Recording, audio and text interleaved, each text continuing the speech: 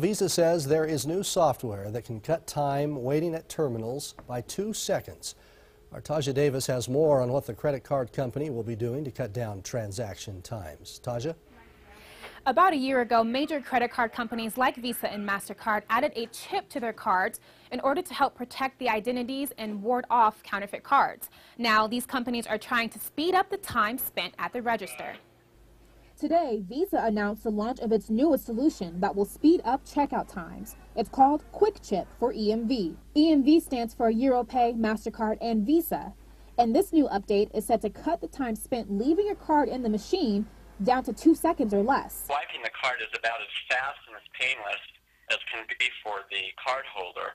And it's not uncommon for a, a card inserted in the chip reader to take, you know, easily almost 20 seconds often uh, for that card authorization to happen. Transaction time is a top concern when using chipped cards, and the current average wait time is 10 to 20 seconds. This is still a much safer alternative than simply swiping your card. A little bit more accurate to read. They don't have to slide it a bunch of times. It's kind of a one one and done. Mm -hmm. So it, it is a little bit easier.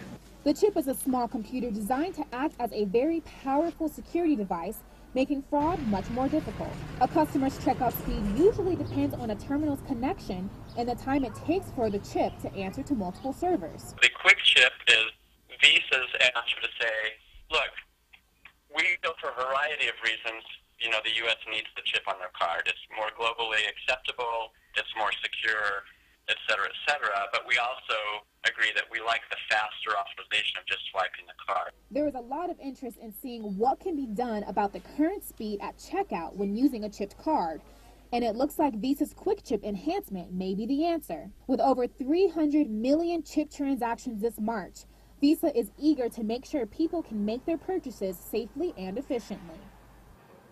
And the great thing about this solution is there is no change needed to the card or bank. It's simply a quick update the merchants will be able to easily install.